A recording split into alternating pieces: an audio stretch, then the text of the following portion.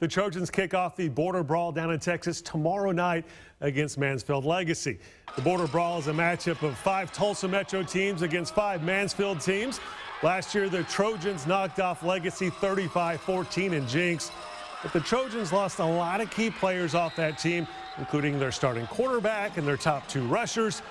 Replacing all that talent is not a quick fix for this young team. Baby steps, right? We're making progress slowly. Um, ultimately, we just have to keep improving, no matter what the how big the strides are. We, as long as we're continuing to improve each week, we'll be able to get to where we want to be. And here is the complete schedule for the Border Brawl down in Mansfield this week. Jenks tomorrow night. Union and Bixby both play games Friday night. Broken Arrow and Sand Springs Saturday night. And Fox 23 will be there in Texas for all five games with live reports from Mansfield Thursday, Friday, and Saturday nights.